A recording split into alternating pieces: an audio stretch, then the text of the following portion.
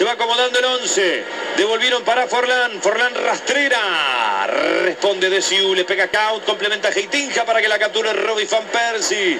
Schneider. Robén la trae por el otro lado. Se lo va a buscar Maxi Pereira. Schneider ahora. Va al 10. Sigue Wesley Schneider. Schneider con el cruce. Cierra el pelado a medias. Le queda Kaut. Se vino Kaut para la derecha. Robén pasó para la izquierda. El 7 que juega el medio. Vamos Gargano. Pareció falta de Van Bommel. Deja seguir el árbitro de Siu. Schneider. Va Schneider. De Siu. Van Bronhorst. Domina el 5. Ojo que le pega. Ojo que le pega. Ojo que le pega. Golazo. Golazo. Le digo. Ojo que le pega. La metió en un ángulo. La metió en un ángulo. Impresionante gol de Holanda. Mirá cómo abren el partido. ¿eh? Holanda 1, Uruguay 0. Golazo impresionante de Van Bronkhorst de afuera, Bien esperado. Este es muy buen lateral que por años jugó en el Barcelona y fue campeón de todo con el Barça. Se metió en diagonal y sacó el disparo. Lo dejaron tirar. No se debe dejar tirar a jugadores que le pegan con tanta precisión. Y la pelota se metió en el segundo palo.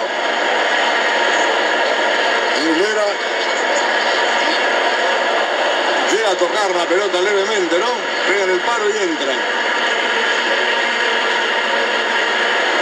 Araña la pelota con la punta de sus dedos. Un remate de tremenda precisión. ¿Cómo cambia el partido ahora? Esto hace que Uruguay tenga que hacer un planteo bastante más audaz que el que estaba previsto para mantener un 0-0 por lo menos todo el tiempo, ¿no? Pasó a ganar Holanda con un verdadero golazo de Giovanni Van Bronckhorst. El famoso TZ Tulipán, el terrible zapatazo del 5 para poner la pelota en el ángulo. Golazo con todas las letras, Toto. Sí, sí, sí. No hay que andar con vuelta para decirlo claramente. Fantástico, fantástico. De los goles más espectaculares que tiene la Copa del Mundo. ¿eh? Un hombre con clase y con una gran trayectoria, ¿no? Decíamos que ganó todo con el Barça, ahora está de nuevo jugando en su país, en el Feyenoord, ¿no? Sí, señor. El equipo de la ciudad de Rotterdam. Sí, señor.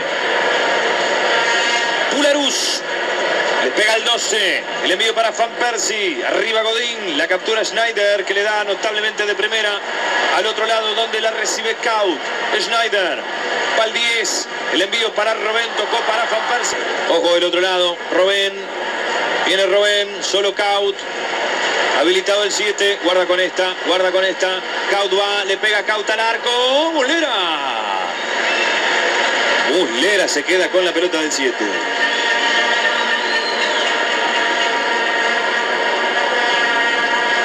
Gargano, calle central para el 5. No se la puede dar a Cavani porque está adelantado. Forlán la captura. Forlán va. El ruso lo acompaña. Va Diego. Le prende Diego al arco. ¡Gol!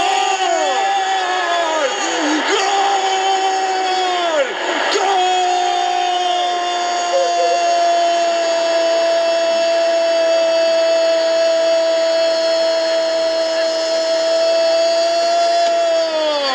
De la más hermosa del mundo, de la más linda de la celeste del alma, señoras y señores. Apareció el número 10, bombazo de Forlán, empata Uruguay, Uruguay 1, Holanda 1, el 10. Diego. Diego, Diego Forlán. Perdóname, perdona Rodrigo, golazo, golazo de Forlán. Encaró ahí por el medio, buscó el perfil para su zurda, sacó el disparo que sorprendió a este Kelmur y Uruguay empata. Decía que por más que no era una buena noche, siempre uno tenía la esperanza que un jugador de esta clase como Forlán apareciera en el partido. Y ahora, después de esto, como ya pasó el encuentro con Ghana, va a estar de nuevo Forlán en su nivel y esto ahora ya empieza de otra manera. ¿eh? Ya sirve el planteo como al principio del partido, como no sirvió después del gol de Van Bronckhorst. Golazo de Forlán. Y va parado pelado, parado pelado, parado pelado, parado pelado. Dale que le ganás pelado, dale que le ganás pelado, dale que le ganás pelado, dale que le ganás pelado, Gargano. Arevalo Ríos, Gargano. Vuelven a sonar las bubucelas, sigue el Monta. Apareció Fau, Van Persie, va Van Persie. Schneider,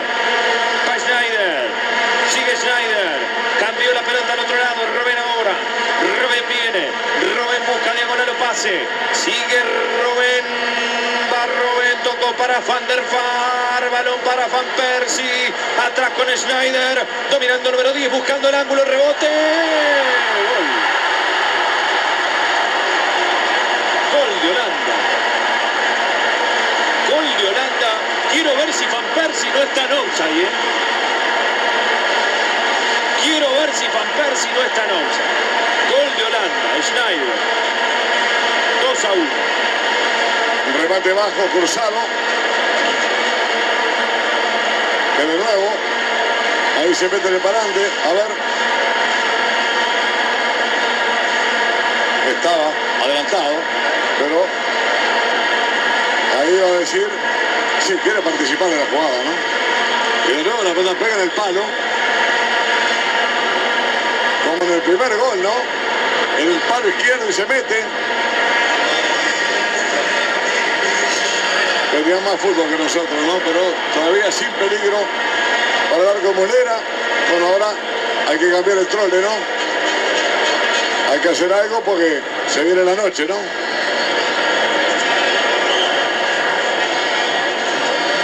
Algún cambio hay que hacer, ¿eh? Tiro, lo teníamos controlado, ¿eh? Sí. Pero el cambio de Van der Vaart ya agregó otro hombre, ¿no? Sí, claro. La acción ofensiva. Empezamos a quedar más mano a mano con ellos.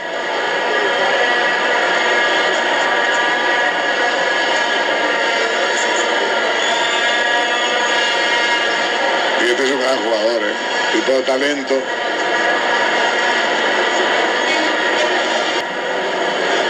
Van Persie. Robén. Van Persie. Va el número 9. La mueven, ¿no? Schneider la mueven bárbaro. Kaut. Viene el 7. Va Kaut. El centro de Kaut. Entró Robén. Gol. Gol de Holanda. Robén. Señoras y señores. Tercero de Holanda. Esto es un masazo terrible y es un golazo con todas las letras. Sí, sí. El envío de Kaut, decíamos que la mueve muy bien. La jugaron en abanico, ¿no? La pelota de un lado para otro para desacomodar a nuestra defensa. El centro de Kaut, el cabezazo de Robén en posición central. Notablemente ubicado. Esta vez sobre el parante derecho, los otros dos goles fueron sobre el parante izquierdo. Y Holanda que se pone 3 a 1 y que aleja nuestra ilusión de estar en la final del domingo. El palo. Los tres goles pegan en el palo y se meten, ¿no? Si habrán sido precisos, ¿no? Los remates. Con los pies de Van Bronckhorst y de Snyder, con la cabeza este de Robén.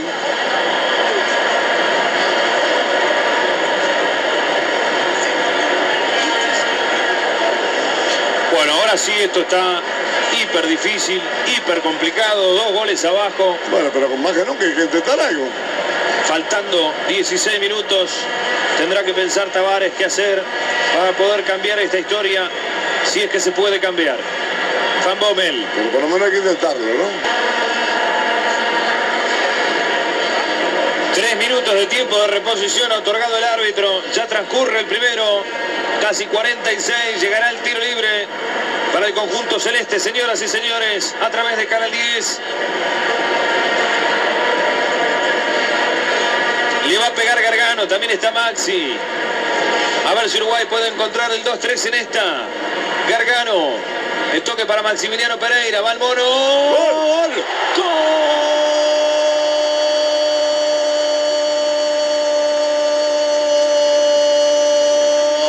Uruguayo, el mono Pereira, faltan dos minutos, Holanda 3, Uruguay 2. Hace mucho más digno lo de Uruguay esto. La buena diagonal de Maxi Pereira. Enganchó derecha para buscar su remate de zurda. La colocó en chample al segundo palo. Y Uruguay se pone 2-3, haciendo todavía mucho más digno su papel en este campeonato del mundo del equipo celeste. ¡Vamos arriba! Va Seba Fernández. El Seba, dale Sebita. 46-50. El ruso Pérez. Ahí va el ruso. Viene el 15 al fondo. La marca de Khalid Bularuz. La saca fuera el 12. 47 minutos. Última vuelta del reloj, señoras y señores. Gana Holanda 3 a 2 hora celeste. Lateral que va a ser Martín Cáceres. Está esperando a Breu. Está esperando el elegido.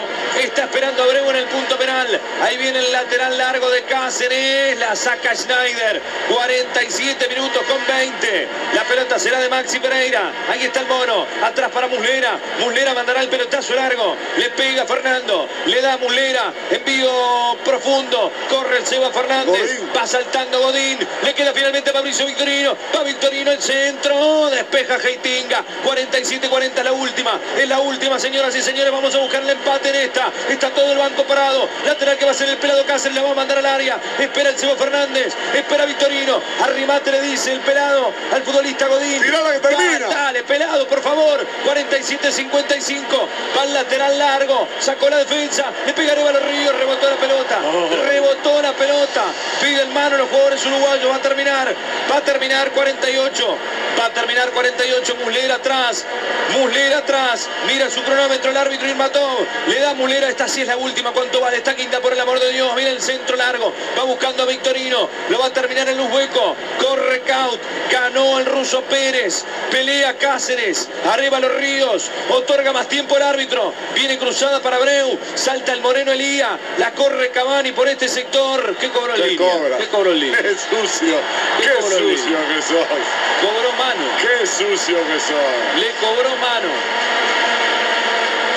Qué sucio que sos. Le cobró mano. Y ahora, ahora amonestaba a Van por protestar. Qué ironía, ¿no?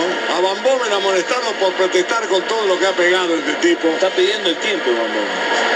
Déjame mirar el, el Le está pidiendo. Le mira el reloj. Claro, le dice que ya pasó el tiempo. Le mira el reloj. Pide Godín que repongan rápido. Holanda hace su juego. Está como loco Sensotero. Juegue, le dice el árbitro a Van Bronhorst. 49 con 15. Envío cruzado, largo. Hay infracción de Van Persie. Infracción de Van Persie, tiro libre. 49, esto sigue, se le rompió. Sí. Se le rompió el reloj a Luzbeco, mejor, ¿no? Ah. Tiro libre que va a ser Muslera. Es la última, ¿eh? Esta sí es la última, esta sí es la última, es la última guinda del partido. Holanda se defiende, gana 3 a 2. Va Muslera, Abreu. pelota larga para el loco Abreu, la peinó, lo tiene el Seba Fernández, va el Seba, el pase al otro lado, cortó Victorino, es otra, es otra, nos dan otra, el centro de Cáceres, entró Godín, la pelota le queda a Cavani, va el número 7, la perdió Cavani, se va a terminar, se terminó, se terminó, se terminó, se terminó, se terminó, se terminó. Se terminó, señoras y señores, pero yo aplaudo de pie a esta selección que dejó absolutamente todo en cada partido. A esta selección uruguaya de un país muy chiquito como es el nuestro, pero con unos huevos y una garra bien grande, señoras y señores. Hemos quedado afuera de la final de la Copa del Mundo. Y mire lo que le estoy diciendo. Hemos quedado afuera de la final de la Copa del Mundo. ¿Alguien lo pensó? Hace tres, cuatro meses alguien lo pensó, alguien lo imaginó. Poca gente, quizás solamente ellos en su juego más sagrado querían llegar tan lejos. Y hoy todo el pueblo charrúa tiene que aplaudir de pie a esta selección uruguaya, que el sábado luchará por el tercer puesto. Hemos perdido con Holanda, con un señor cuadro de fútbol. Holanda nos ha ganado 3 a 2 y nos corta la ilusión de llegar a la final de una Copa del Mundo después de 60 años. Comenta el doctor Jorge da Silveira a través de Canal 10. Señores, nada cambia este resultado, el juicio de valoración sobre la campaña de Uruguay. Estupenda, desde todo punto de vista. Estamos orgullosísimos de este equipo que nos ha representado. Un plantel de grandes profesionales, humildes, solidarios, educados, con sentido de gratitud. Y bueno, hemos tenido allí una nueva demostración de entereza formidable, más allá las limitaciones futbolísticas que hayan existido, este equipo uruguayo ha dejado bien en alto la imagen de nuestro país nuevamente. El mundo nos vuelve a respetar. Se ha vuelto a hablar de Uruguay de otra manera. Después de años negros, con la famosa leyenda del malevaje de los uruguayos, hemos jugado con total corrección, hemos tenido momentos de muy buen fútbol, hemos llegado a una semifinal, hemos perdido ante un gran equipo apenas, porque ahí estuvimos en la última jugada, muy cerca de lograr un empate que pudo posibilitar otra instancia de prórroga para definir el finalista. Y creo que es como para que los uruguayos se sientan magníficamente representados por estos muchachos, a los que hay que felicitar como corresponde. Les pedimos un esfuerzo más para ver si ese tercer puesto que no fuera esquivo en el 54, cuando jugamos contra Austria después de aquel partido con prórroga ante los húngaros, y en el 70, cuando matamos a pelotazos a los alemanes y no les pudimos ganar insólitamente aquel partido en México, podemos alcanzar el tercer puesto, que sería, creo yo, algo realmente fantástico para este momento del fútbol uruguayo.